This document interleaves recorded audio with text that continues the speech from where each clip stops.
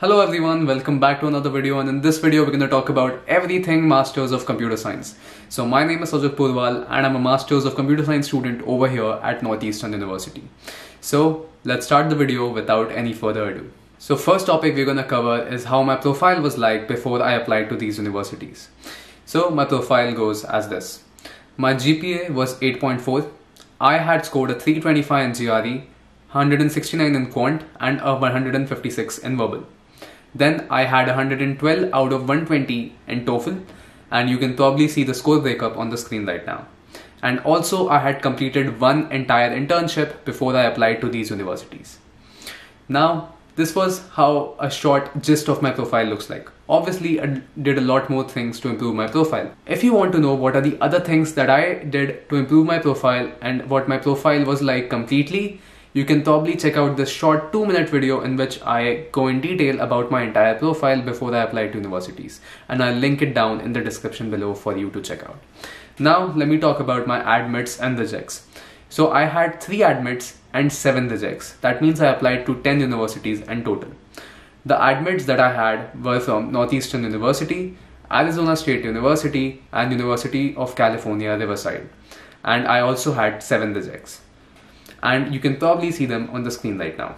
The reason why I selected Northeastern University is because Northeastern University gives you plenty of opportunities plus the great co-op program really helped me a lot. So what is it that you guys can do to improve your profile to get great admits too? First of all, try to get some internship experience if you are a complete fresher. That is, you came straight out of college, like I did. If you do not have any work experience, obviously getting admits becomes a lot more difficult. So obviously you'll have to do a lot many things to counterbalance that part. So try to get as high GPA as possible during university. No matter how much anyone tells you that your GPA does not matter, it does. It does a lot. And you will get to know that only while you're applying to universities and getting admits or rejects. So have a GPA as high as possible. Then aim to get as high a GRE and TOEFL score as possible. Alright, these three things will actually help you a lot. On top of that, get try to get some internship experience if you do not have any. Before applying to universities, obviously they'll check how much have you worked in the field to get an understanding of how much you're aware of the different concepts that, that you have learned during your education right so if you're a fresher you want to come straight out after college and you're applying right there and then then obviously you need to have some internship experience to let the university people know that obviously you were interested in the field and that's why you pursued those interests and tried to get some hands-on experience. And people who have work experience i don't think i need to tell you anything about that because you already have some work experience under your belt and that will act as an advantage. Now do you need to have some programming experience in the field? Now again let's divide this part into two parts for freshers and for experienced people for freshers, I would say you do not need to be experts in coding. You do not need to know it all. Probably I did not too. So what did I do? I tried to develop as many projects as possible and tried to gain as much internship experience as possible before I applied to these universities so that they know that I like to get my hands dirty with the stuff I like and I'm not afraid to experiment with the stuff even though I'm a newbie to the field. So I completed a lot of technical projects. I did an internship and that actually helped me a lot. So try doing that please. And now for the people who have work experience. You guys are already experienced in the field. That will obviously help you when you put that on your resume. So all you have to do is try making some technical projects in the domains that you're interested in. For example, you're interested in both fields, software engineering and data science. You can probably make projects in both of them. This goes to show that you're obviously interested in your field, you're interested in these domains, and you have put in the work to actually make things happen. So that also goes to show how much your interest is in the field. But for all the freshers, after you get your admit or after you apply to these universities, start coding seriously and start making good technical projects really advanced ones and that will actually help you out in the long run. Now I'll provide you with a small list of universities based on your profile which you can probably use to apply to them. Alright, so let's start from the beginning. So for people with high level profiles, I would suggest applying to universities like UIUC, CMU, University of California, San Diego, Georgia Tech and other Ivy Leagues. For people who have a moderate level profile, I would suggest applying to SJSU, that is San Jose State University, Northeastern University, Arizona State University, and University of Illinois Chicago. Another GPA centric university that I really like is University of Southern California. Only apply to this university if you have a GPA of around 9, otherwise there's a high chance you might get rejected. Now, let's talk about some people who have average profiles. You can probably go for universities like San Diego State University, Uh, Arlington, and there are also many good California state universities which you can apply to. Alright, again, this is not a list that you have to stick to. Try to make your own mix of universities that you want to apply to, but you can use this as a small reference. Alright, and try to apply to such universities which are in good locations that gets you more job opportunities.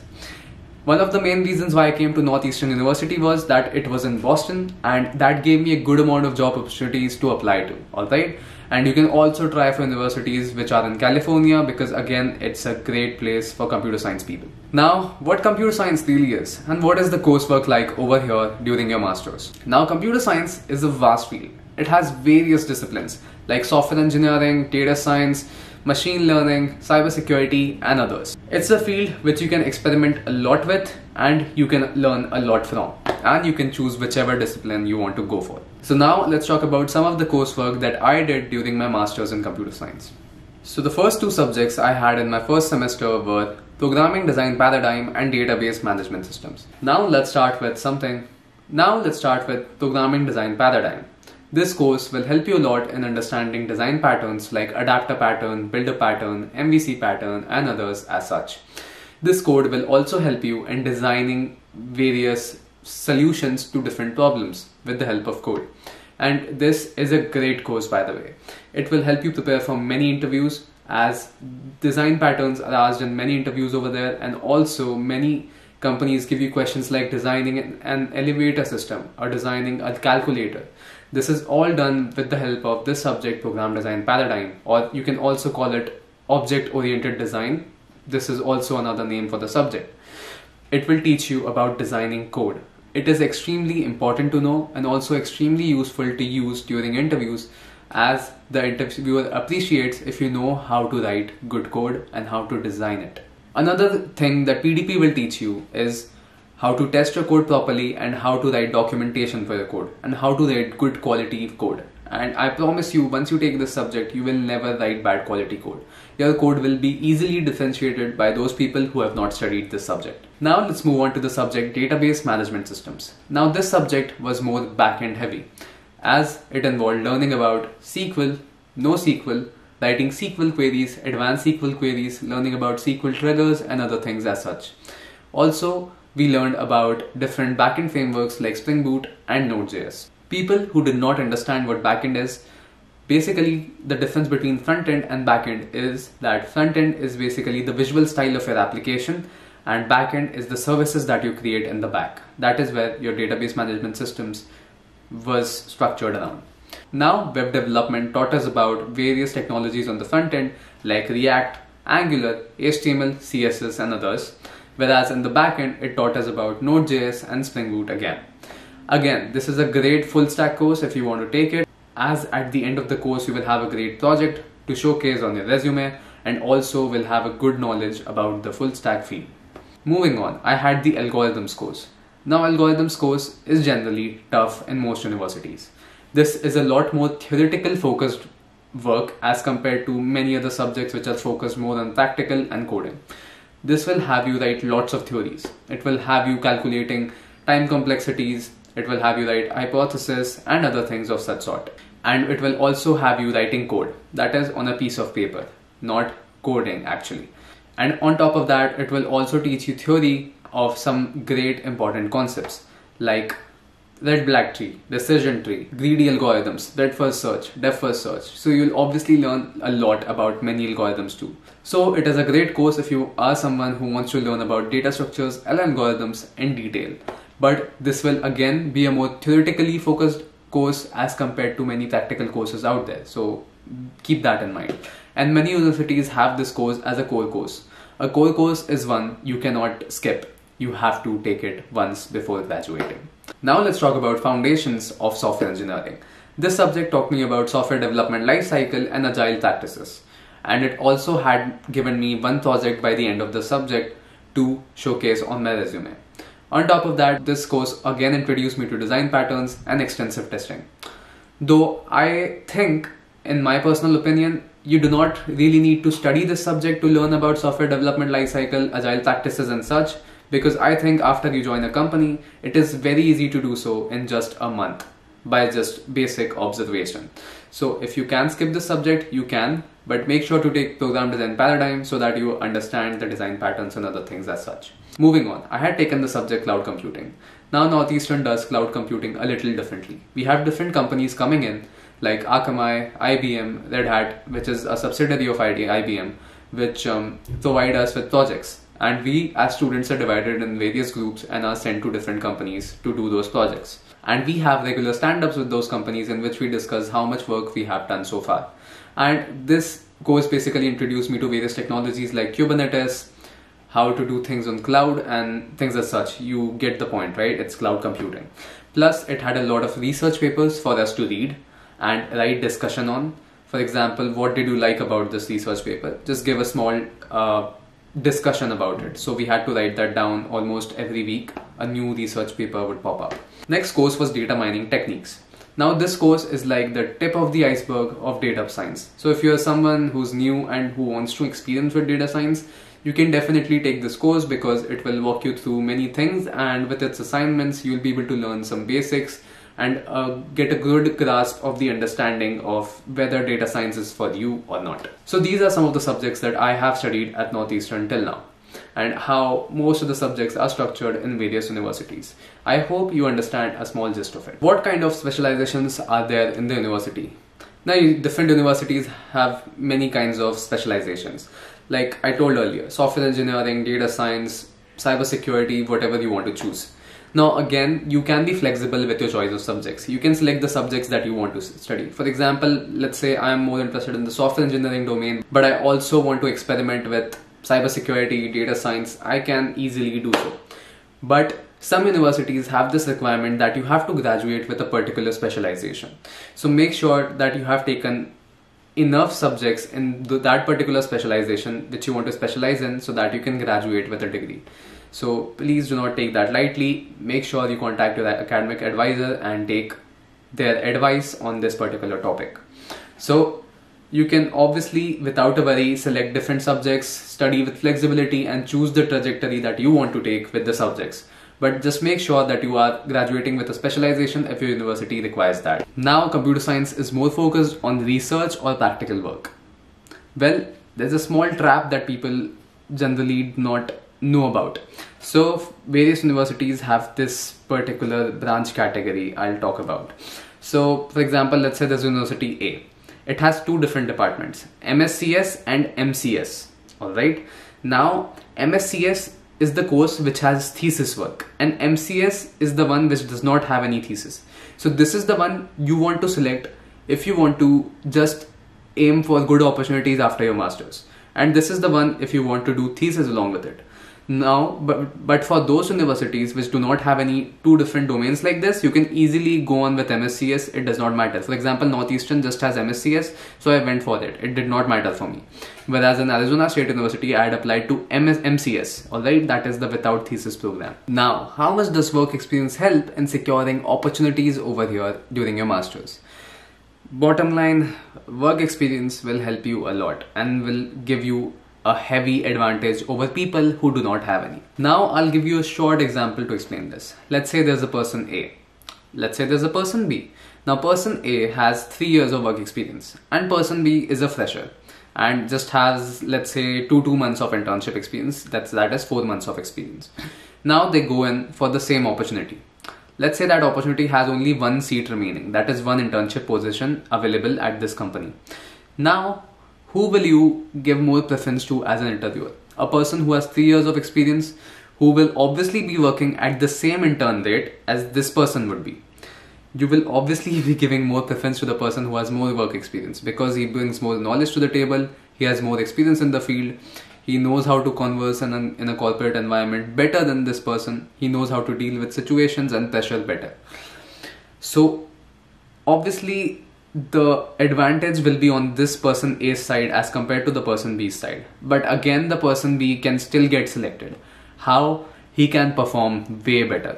He has to perform really, really well. So, a fresher who is coming to the industry needs to be at the top of his game. He needs to be really, really skilled with what he does, whether it is LeetCode questions or whether it is um, technical questions and stuff. You should not be making a lot of mistakes during your interview because you are being judged with people who have lots of work experience who will be working at the same rate. So, if this person is getting 30 you're getting 30 obviously if you do not perform better than this guy i would not want to give a shot to you even though you might be more brilliant than this particular person. He still looks better on paper to me. So if you're not better at performing than this guy obviously you will you lose your opportunity. And as for work experience people you if you perform well obviously the ball's in your court and you'll be able to take that opportunity like this even while applying to companies work experience will help you a lot in getting shortlisted for interviews. The main trauma that people get over here in universities is that they do not get shortlisted for opportunities. And if you want to get shortlisted for opportunities, you need to have a great resume. Alright? So many times what happens is freshers come new to the environment and they apply to many opportunities out there but they do not get shortlisted for any. Or maybe let's say only a few. Like 3 to 4 job interview calls. Whereas a person who has experience might get as much as 10 to 15 interview calls. So you are getting more opportunities. And on top of that if you perform better than the average you're getting selected. So I think that's a great win. And that's a great advantage. But for freshers, do not get discouraged. Where there's a will, there's a way. I personally came as a fresher and I secured two co-ops in my first year and I had secured three internships in my second year right now for this summer. So please do not be discouraged. Know that you can do it if you perform well in these interviews. Alright, so make sure that you're skilled enough in the domain and you will be getting that job. So your main focus should be okay, even if I'm getting only three interview calls, I have to crack one of them at any cost and prepare well for that, and you will be able to do so. It is not such a big deal. Just perform great, and that should do it. Now, how the job opportunities for people coming in Masters of Computer Science? Now, there are plenty of opportunities in the Masters of Computer Science field, but the opportunities will depend domain to domain. For example, if we talk about software engineering, it has the most number of opportunities. Whereas if I talk about something like machine learning, it has a few opportunities. So your jo- job availability depends a lot on the domain that you're pursuing. So I will suggest that you at least have two domains in your mind while you're applying to companies. So let's say you are more interested in machine learning, but let's say you are not able to get that right opportunity, you should also keep applying to software engineering jobs so that you can at least back them if this does not work out for you. Now, how did I apply for various jobs? So this was my daily ritual during my masters. I used to get up from my sleep and I used to sit and apply for at least one or one and a half hours to different companies on LinkedIn. LinkedIn has many opportunities coming in each and every day, and you need to stay active. You need to apply each and every day over here. It's like a mandatory thing to do. On top of that, I also was using Northeastern's career portal when I got the access to it. I was also applying to companies over there, and I was also applying on LinkedIn. So even if your college gives you a small um, career portal which you can use to apply to companies. Please do not stop applying on linkedin. That is also absolutely necessary. Also give a small amount of time every day to some competitive coding. It is also really important for you to do. I personally during my first year had applied to more than 600 companies over here during my masters. And that is a very normal amount for anyone to do so while they're looking for the opportunities. So please make sure that you're going in that range maybe above 400 or 500 companies so that you get some interview calls from that. Because getting interview calls is really really difficult over here. All right please take that seriously and you should be fine. Now the most important topic. Money. That is what you all have been waiting for since a long time. How much money can we make? We have a lot of student loans and this and that. Can we enjoy it too? Or would we just be filling our student loans and that will be it? Well let me answer that question for you. How much can you make?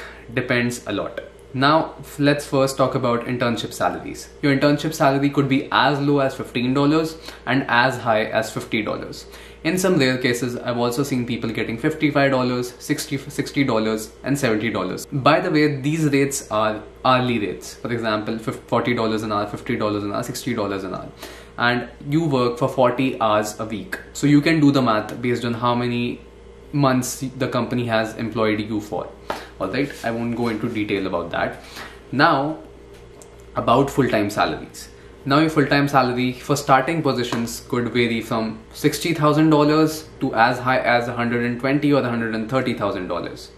Now, your actual CTC or let's say your package is a lot more. Let's say you get employed in a big FAANG company, you will get 110k as a base, 20k as bonus, and then again 15 to 20k from stocks. So that makes your entire CTC to be around 150k.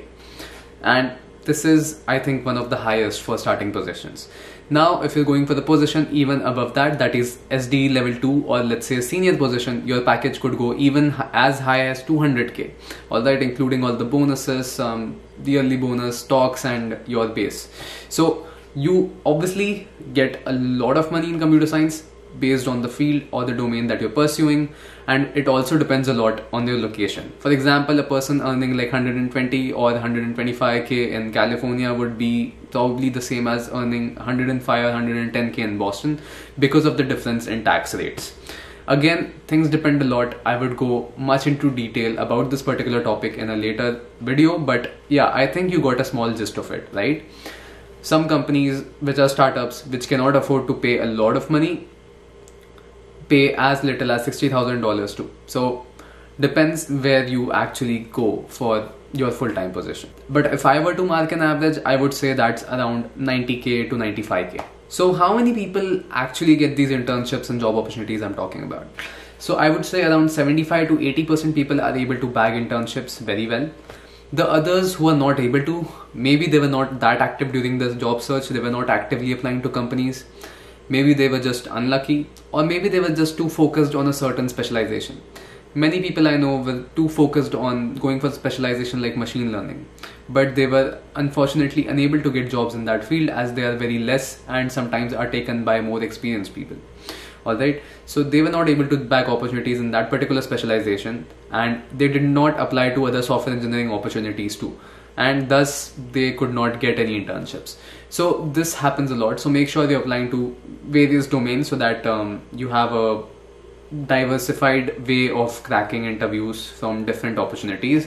If your particular um, choice of specialization does does not have many opportunities in it. Another thing, I have made a great video about how to prepare for masters in computer science opportunities over here and it will be coming out in a couple days. I have already edited it and it has already been scheduled. So make sure to watch that video too so that you get an understanding of how to prepare for masters in computer science. And that's it for this video guys. If you like this video, please, please, please consider subscribing because this video took a lot of research and many hours to shoot. Make sure to press that subscribe button and just make sure that we're connected in the future so that you guys do not miss any updates from this channel. I'll be coming with more banger content for this channel and you will be enjoying it a lot. So make sure to subscribe please, it helps a lot. Thank you so much for watching and I will see you in the next one.